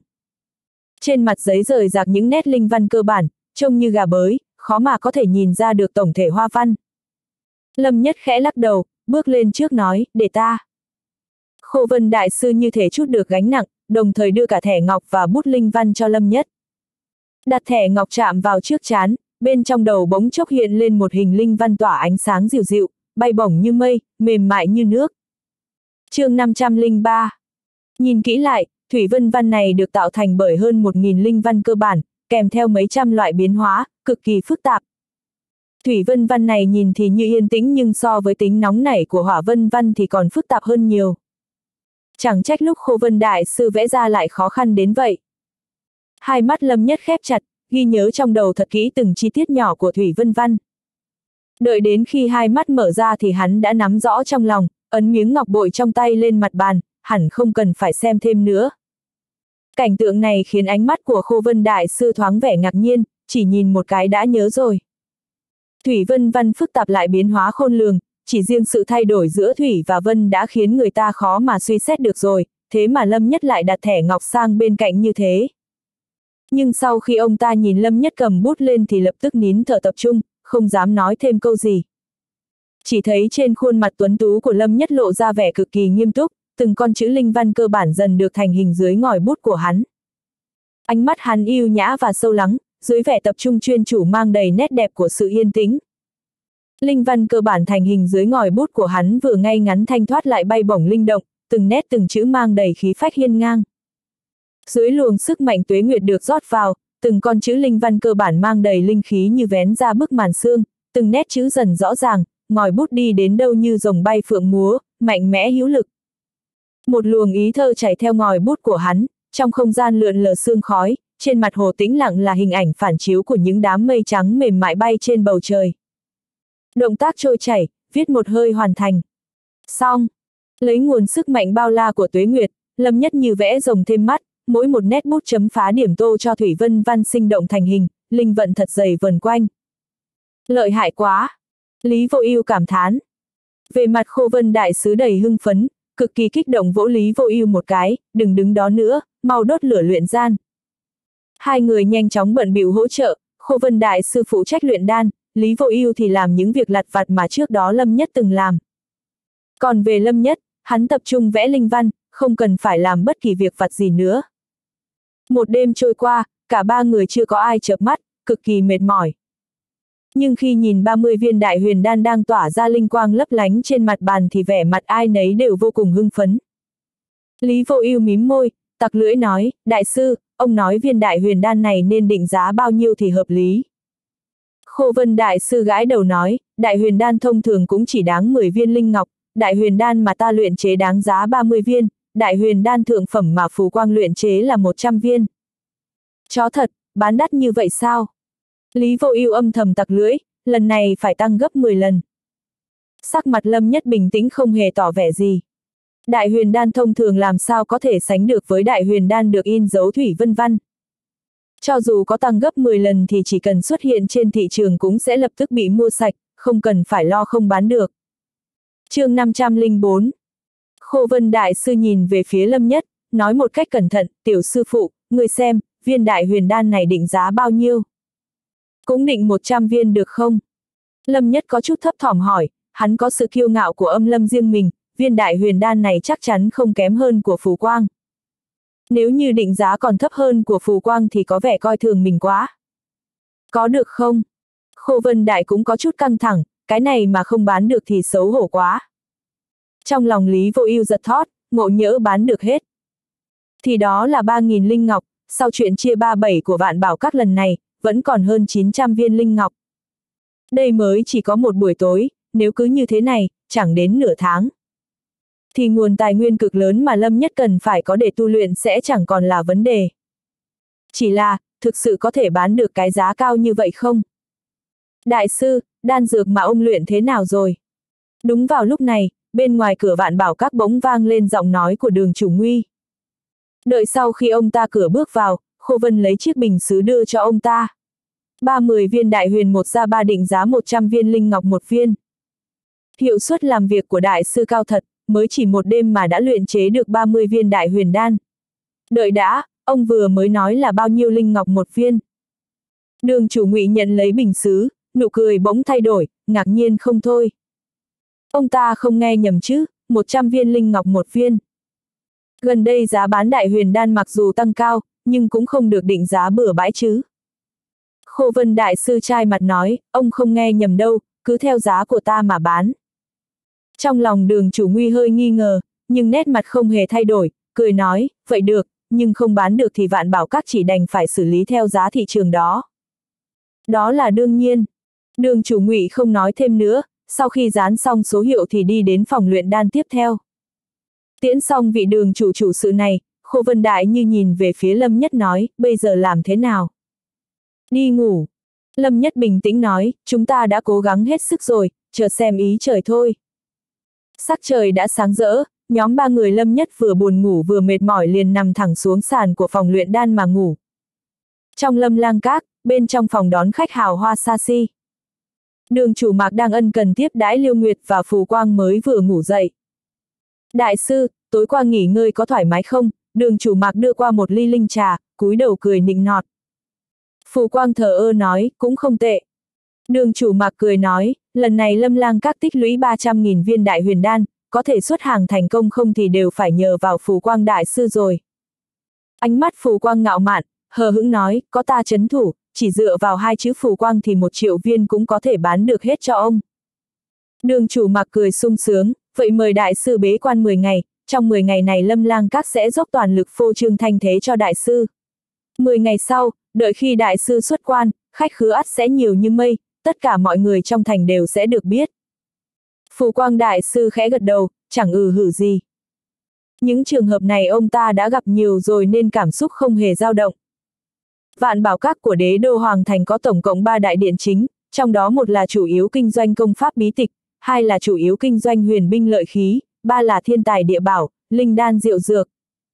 Hai đại điện chính trước có phong cách khá phô trương, công pháp võ kỹ, thần binh lợi khí, chỉ một món tùy ý đã là cái giá trên trời. Nhưng mức độ được nhiều người biết đến nhất lại chính là đại điện kinh doanh đan dược. Dù gì công pháp cũng không thể thay đổi thường xuyên được, một món huyền binh thì càng phải dùng đến vài năm, thậm chí hàng chục năm. chương 505 Thứ thực sự cần phải tiêu hao hàng ngày, hoặc cho dù không dùng đến thì cũng phải dự trữ để đề phòng chính là linh đan diệu dược. Điện chính đan dược khí thế hào hùng, rực rỡ sáng sủa với những ngọn đèn lưu ly hoa lệ chói mắt, tỏa ra luồng ánh sáng lóng lánh lay động, giống như mộng ảo bao trùm cả tòa điện chính. Các quầy hàng lớn trưng bày các loại đan dược phẩm cấp khác nhau, các loại linh đan rượu dược ra dạng phong phú. Ngày thường lượng người ra vào nơi đây ít cũng phải hơn chục nghìn, nếu nhiều thì phải đến bốn năm chục nghìn người. Diện tích tòa điện chính vô cùng rộng, có đến bốn tầng, hầu như đủ rộng để chứa được lượng người cực đông. Lúc này, bên ngoài điện chính, một nhóm võ giả cảnh giới huyền võ với tu vi thâm hậu, khắp người đầy sát khí đang bước nhanh vào bên trong. Người đi đầu tướng tá cao to, vạm vỡ, đôi cánh tay lộ ra ngoài cơ bắp cuồn cuộn. Trên lưng đeo một thanh kiếm vừa to vừa dày vừa nặng, nhìn thoáng qua trông khá dũng mãnh, ánh mắt tương đối từng trải. Là binh đoàn huyết lang. Đám người này xem chừng đã có thu hoạch lớn từ hoang nguyên mạc bắc ngoài thành. Lang vương phòng giác đích thân dẫn đoàn, làm gì có chuyện thất bại ra về. Một đám người mới vừa bước chân vào liền bị không ít người nhận ra, bọn họ là thành viên của binh đoàn huyết lang, người đứng đầu tên phong giác lại càng là nhân vật có tiếng tầm ở đế đô. Quận Tần Thiên là nơi tu tập rất nhiều anh tài của đế quốc Đại Tần, ngoài ra, còn có không ít những kẻ bán rẻ mạng sống để làm việc cho các đại thế gia ở đây. Trong đó có không ít kẻ mạnh tự chiêu mộ thuộc hạ, thành lập nên binh đoàn lính đánh thuê, chuyên đi làm những việc nguy hiểm. Tỷ lệ tử vong càng cao thì có thể thu được lợi ích càng lớn. Chỉ cần hoàn thành một đơn là sẽ kiếm được một khoản lớn linh ngọc, huyết lang chính là một trong những binh đoàn lính đánh thuê mạnh nhất. Do vậy, khi có thu hoạch thì đương nhiên sẽ đến thương hội thế này để thoải mái mua sắm tài nguyên tu luyện. Loại võ giả có thực lực mạnh mẽ, gia cảnh giàu có này chính là thần tài của thương hội. Không có đại huyền đan à. Phong giác quét mắt nhìn một vòng, nhíu chặt mày. Gần đây không biết vì sao. Các đại thương hội ở đế đô đều thiếu đại huyền đan một cách kỳ lạ, hắn ta đã đi mấy thương hội rồi mà cũng chỉ mua được hơn 100 viên đại huyền đan. Cũng đủ để hơn 10 người tu luyện.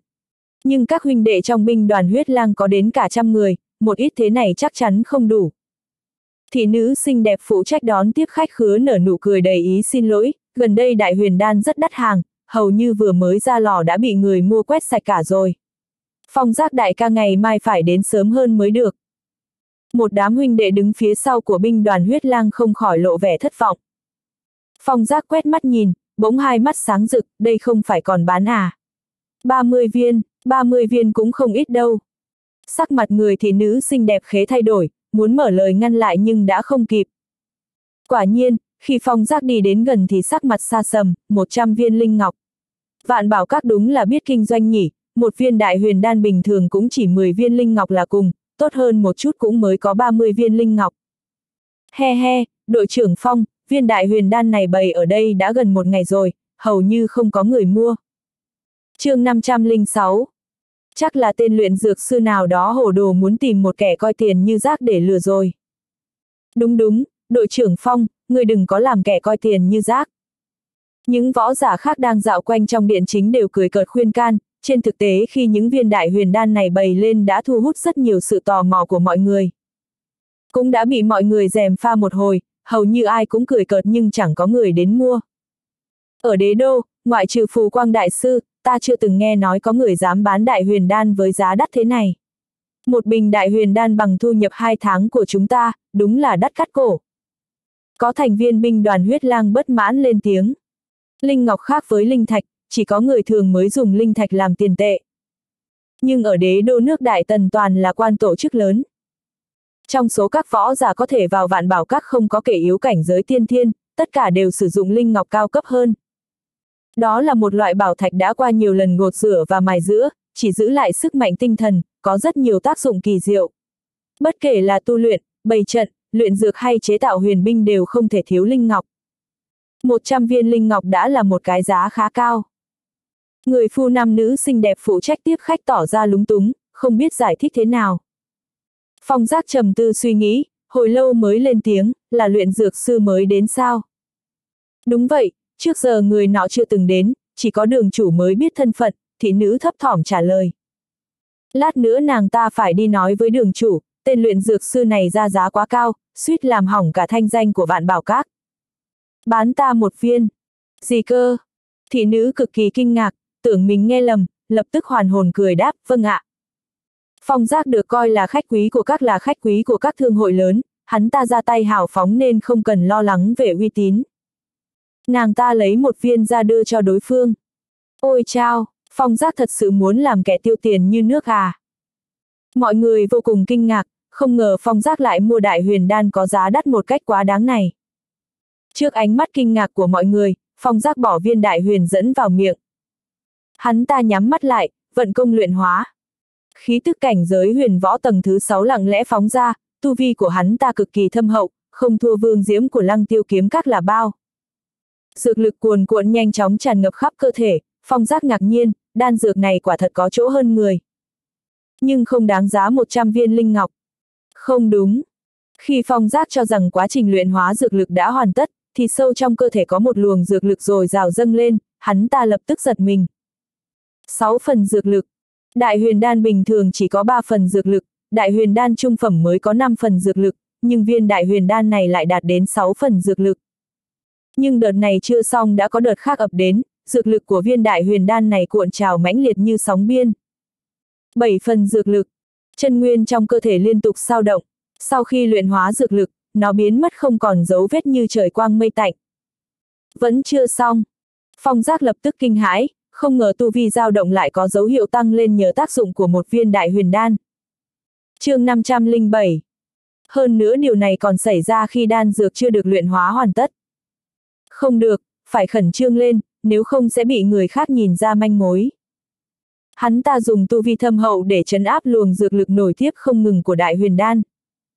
Phong giác bình tĩnh mở mắt ra, hờ hững bảo, cũng ổn, không tệ như ta tưởng, dù sao đại huyền đan cũng không dễ mua, ta sẽ lấy hết 30 viên này. Đại ca, hắn ta vừa dứt lời, không chỉ các thành viên binh đoàn huyết lang sững sờ mà hầu hết mọi người trong chủ điện đều ngẩn ra. Đúng là mèo mù vớ phải cá rán mà. Quả thật dạo này đại huyền đan bán rất chạy, chắc là đội trưởng phong giác cần gấp đại huyền đan để thưởng cho đội viên. Hết cách rồi, hết cách rồi. Sau khi hoàn hồn, mọi người bàn tán xôn xao, chỉ bảo người luyện dược sư này thật may mắn. Thủ quỹ của binh đoàn huyết lang không tình nguyện trả 3.000 viên linh ngọc, còn thị nữ xinh đẹp thì vui vẻ ra mặt. Nghe đồn đội trưởng phong giác ra tay hào phóng, quả nhiên không giả. Tiểu nữ tử thanh mai to gan một lần, giảm giá cho đội trưởng phong giác 200 linh ngọc. Thị nữ xinh đẹp khá vui vẻ khi thấy mình bán được loại đại huyền đan khó bán nhất, chủ động giảm giá linh ngọc của hai viên đại huyền đan. Cách tiếp khách của các thương hội lớn đều có những chiêu trò để lôi kéo khách hàng. Hành vi của Thanh Mai cũng hợp lý, với thân phận của Phong Giác hoàn toàn đáng để nàng ta làm vậy. Phong Giác cười thầm trong lòng, tiểu công nương, bây giờ ngươi cứ vui vẻ đi, mấy ngày nữa ngươi chắc chắn sẽ khóc cho xem. Nhưng hắn ta là người có kinh nghiệm, nhờ mạo hiểm giữa sự sống và cái chết lâu ngày nên sớm đã có thể giữ bình tĩnh như không có chuyện gì xảy ra. Phong giác nhướng mày, giả vờ mừng rỡ, tốt quá, vạn bảo các không hổ là vạn bảo các. Nếu quý các coi trọng ta như thế, vậy thì ngày mai ta sẽ đến ủng hộ tiếp. Đâu có, đâu có, lúc đó đội trưởng phong giác nhớ đến tìm nô ra tiếp nha. Thanh Mai cười vui vẻ, nũng nịu trả lời. Sau khi mọi người đi ra ngoài, nụ cười trên mặt phong giác phụt tắt, hắn ta nghiêm mặt bảo, đi mau. Các thành viên binh đoàn huyết lang mờ mịt, cảm thấy đội trưởng của mình hơi khác thường.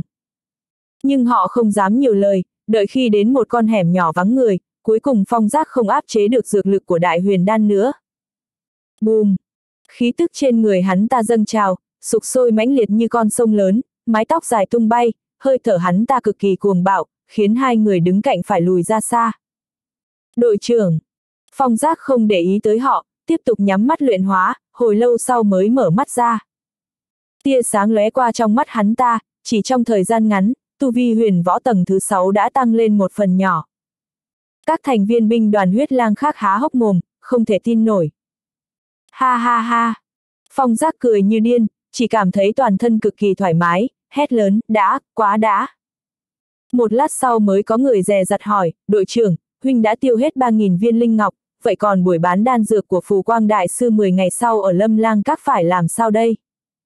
chương 508 Phong giác trầm giọng, đi cái rắm 30 viên đại huyền đan này, mỗi người các ngươi lấy một viên, không được nói cho người khác biết về hiệu quả của nó, phải giữ bí mật tuyệt đối.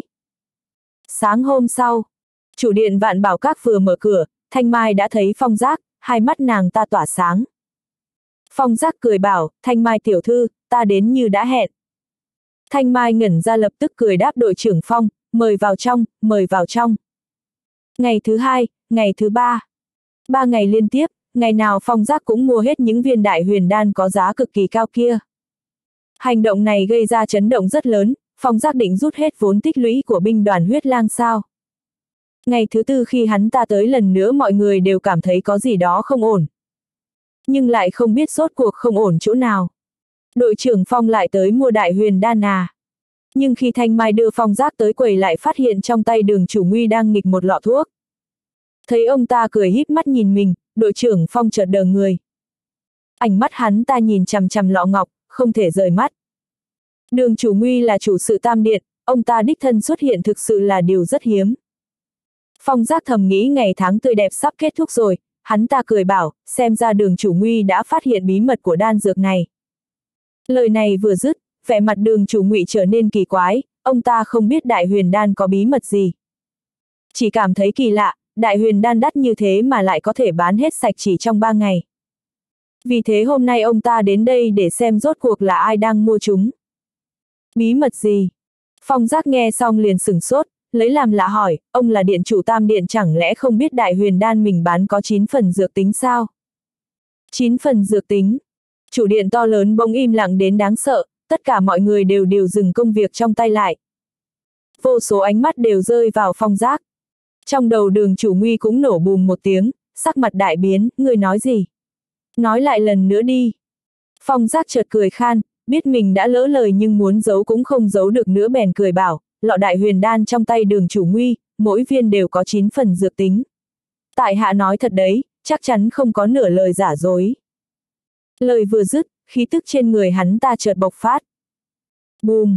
Một luồng khí thế khủng khiếp và cuồng bạo lập tức rít gào trong chủ điện chương 509 Huyền võ tầng thứ 7 Có người hô lên, hai mắt mở to, người ngây như phóng, trong mắt hiện lên vẻ khó tin.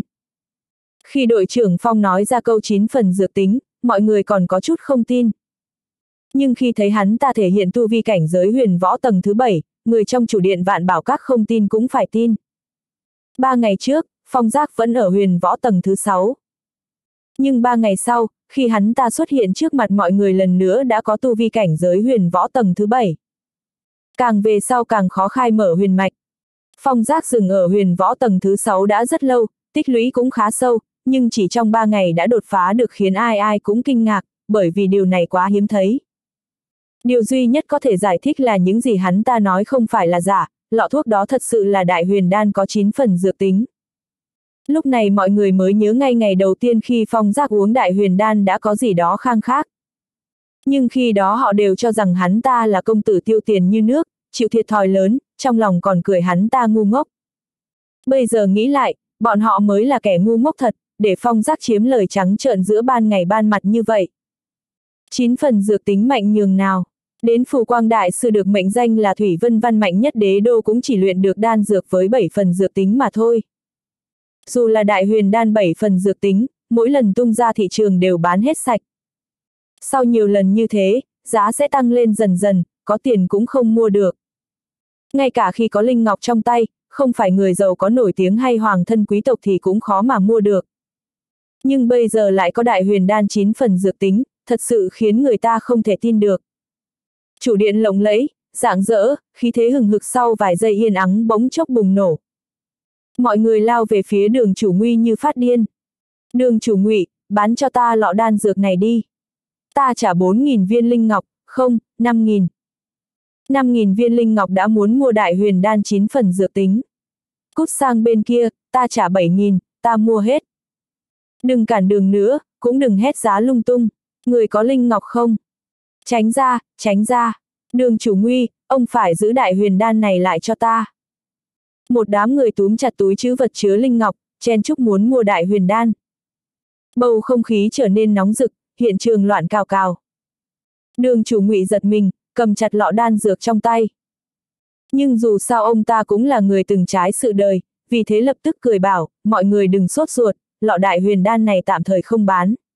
Hôm nay vạn bảo các ta đóng cửa một ngày, ngày mai mọi người quay lại sau nhé. Tiễn khách, tiễn khách. Đường chủ, đi bên này. Trong chủ điện bỗng có mấy cao thủ thực lực cường hãn xông ra, mở đường hộ tống đường chủ ngụy ra ngoài. Đường chủ ngụy thở vào một hơi, nhìn lọ ngọc trong tay mà lòng mừng như điên, tim đập thình thịch, hồi lâu cũng không bình tĩnh được, không ngờ vạn bảo các lại có cao nhân bậc này. Suýt thì quên chuyện chính, ông ta phải mau chóng đi tìm khô vân đại sư đã. chương 510 nhất thời, ông ta không biết phải trả lời thế nào. Đường chủ. Thanh Mai đáng thương nhìn ông ta, trong lòng cực kỳ tự trách.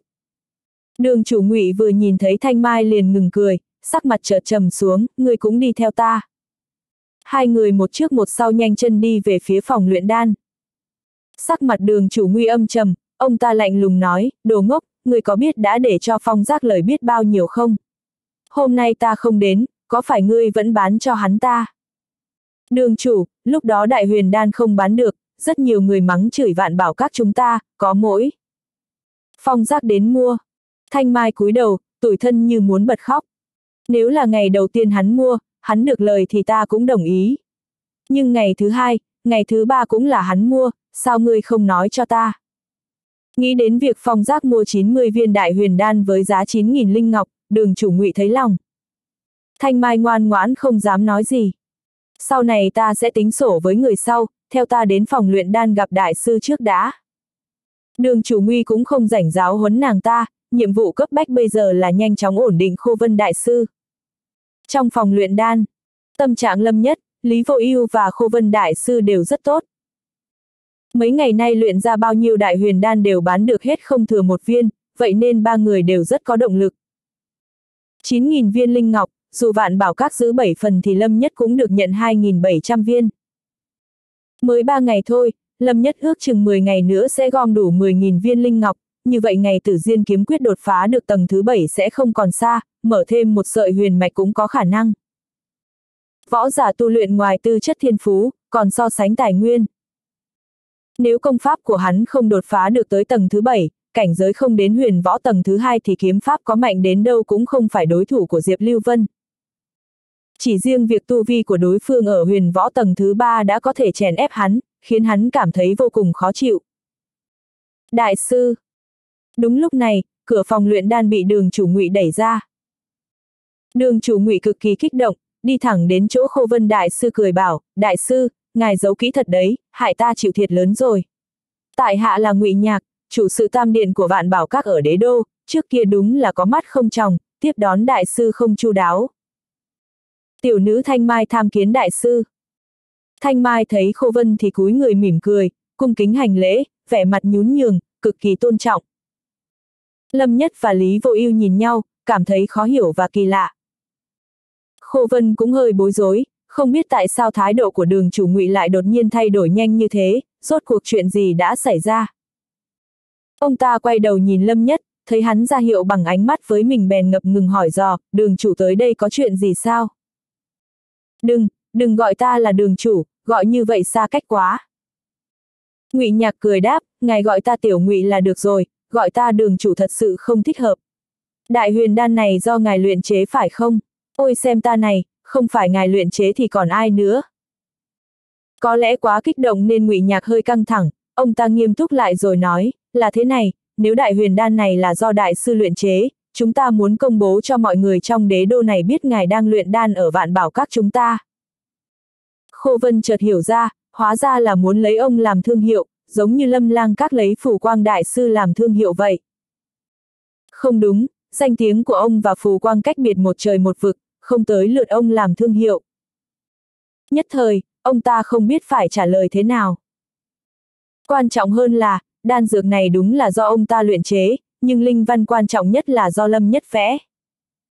Nhìn vẻ mặt khó xử của Khô Vân, trong lòng đường chủ ngụy chợt hiểu, hiểu rồi, đại sư yên tâm.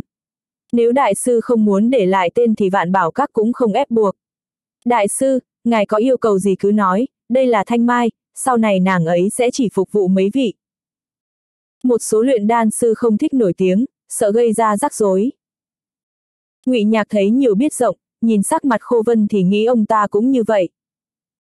Vãn bối xin cáo từ trước, Thanh Mai sẽ ở lại đây nghe theo lệnh của Khô Vân Đại Sư. Audio điện tử võ tấn bền. Hết tập 22